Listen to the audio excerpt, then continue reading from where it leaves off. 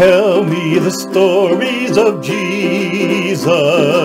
I love to hear things I would ask him to tell me if he were here.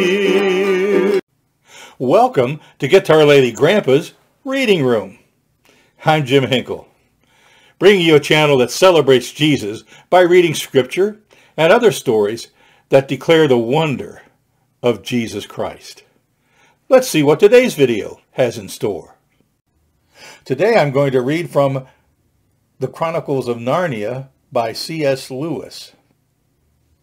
I'm reading from the HarperCollins single volume paperback edition, and I'm going to read from The Lion, the Witch, and the Wardrobe.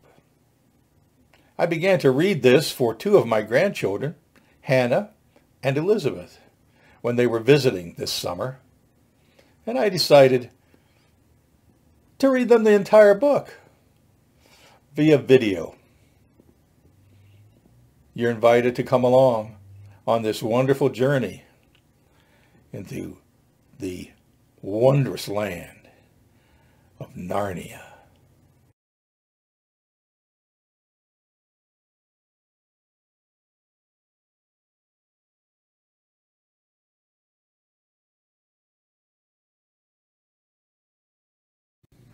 Chapter 3 Edmund and the Wardrobe Lucy ran out of the empty room into the passage and found the other three. It's all right, she repeated. I've come back. What on earth are you talking about, Lucy? asked Susan. Why, said Lucy in amazement, haven't you all been wondering where I was? So you've been hiding, have you? said Peter. Poor old Lou, hiding and nobody noticed.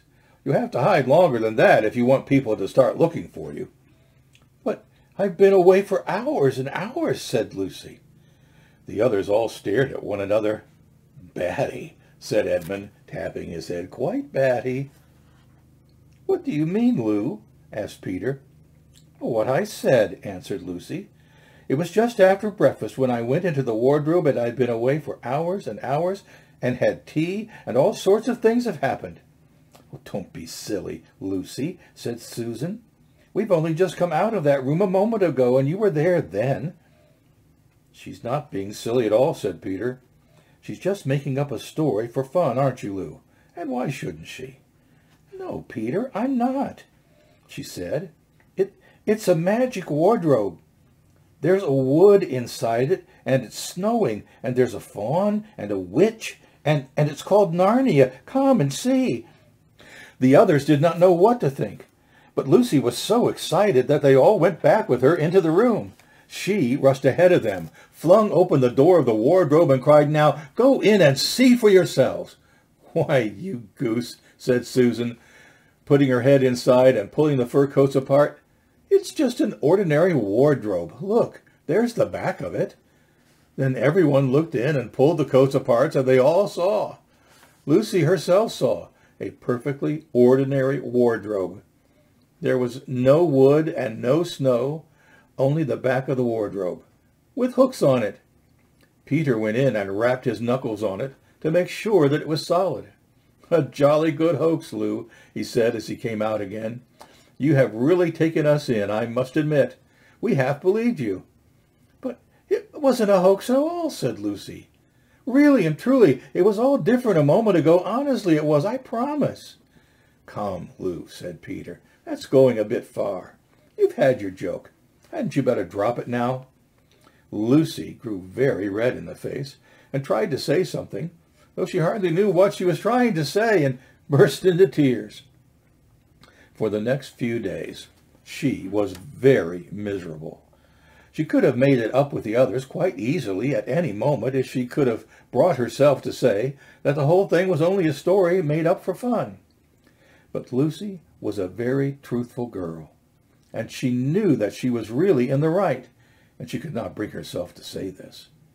The others, who thought she was telling a lie, and a silly lie too, made her very unhappy.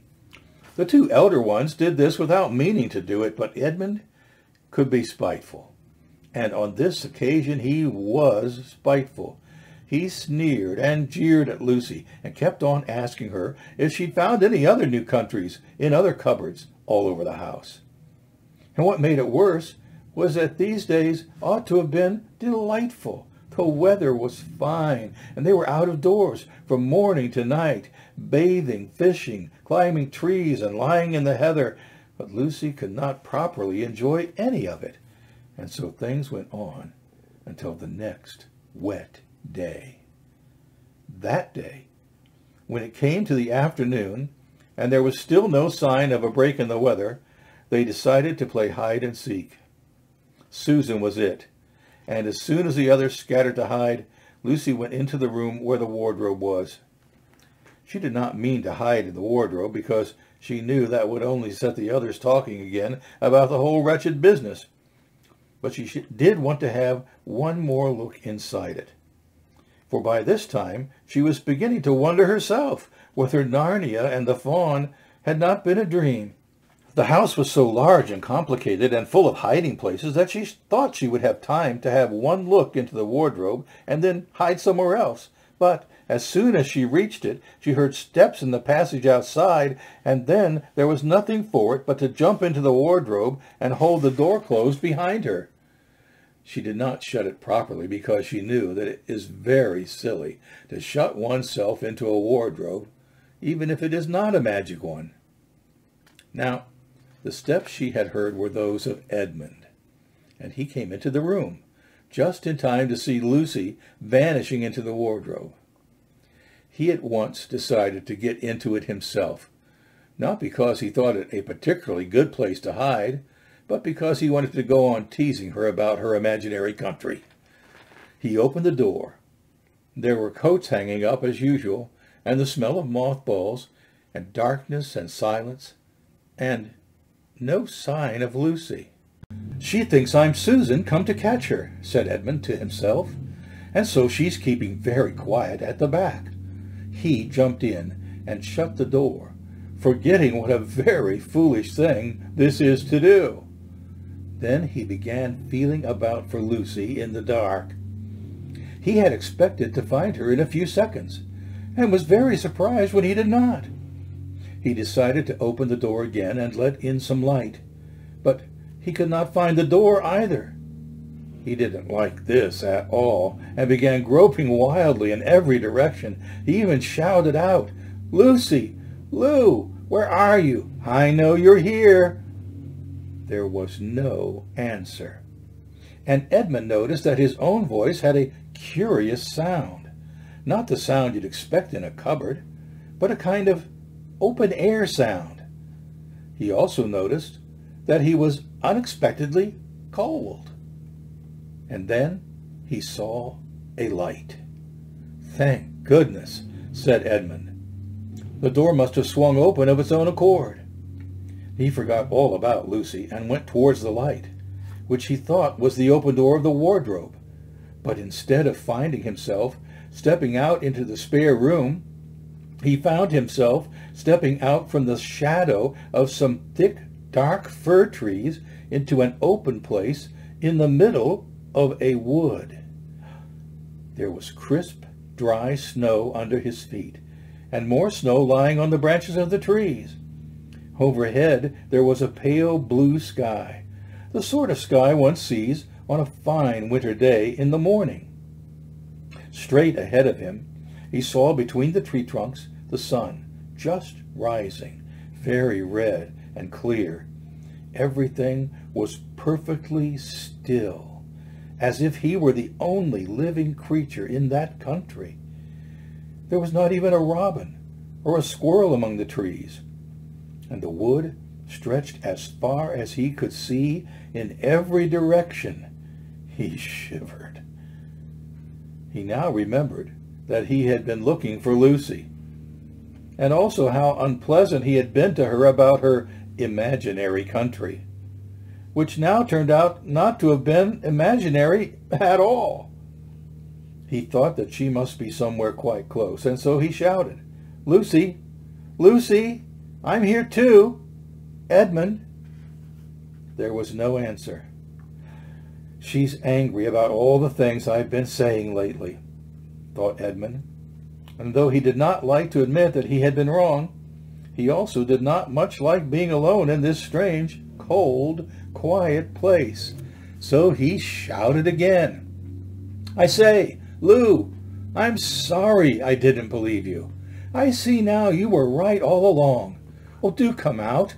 Make it pax. Still there was no answer. Just like a girl, said Edmund to himself, sulking somewhere and won't accept an apology. He looked around him again and decided he did not much like this place, and had almost made up his mind to go home when he heard, very far off in the wood, a sound of bells. He listened, and the sound came nearer and nearer, and at last there swept into sight a sledge drawn by two reindeer. The reindeer were about the size of Shetland ponies, and their hair was so white that even the snow hardly looked white compared with them.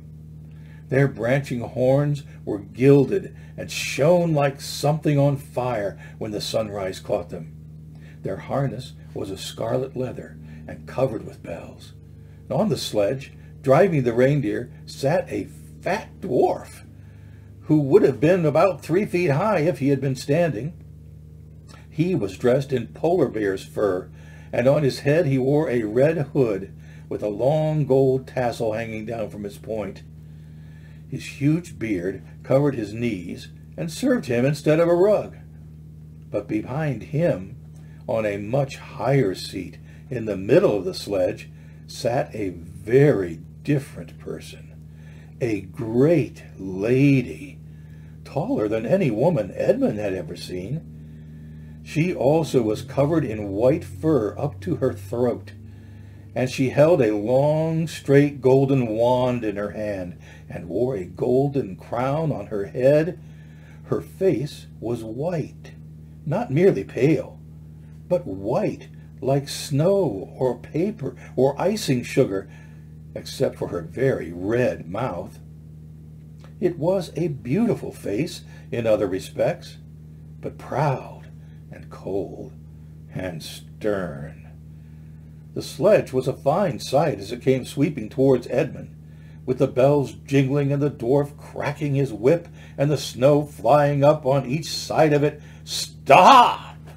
said the lady, and the dwarf pulled the reindeer up so sharply that they almost sat down.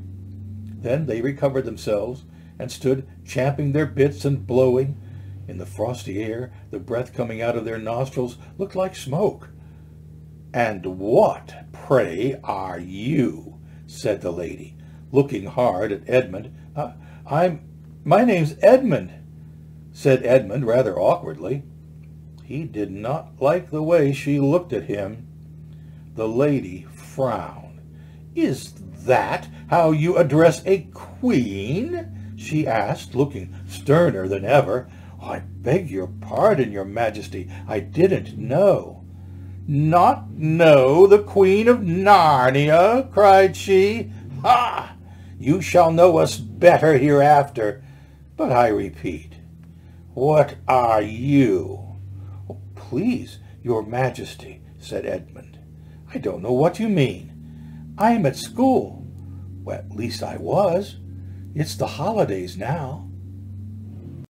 I hope you've enjoyed today's reading from The Lion, the Witch, and the Wardrobe, Book Two of C.S. Lewis's Chronicles of Narnia.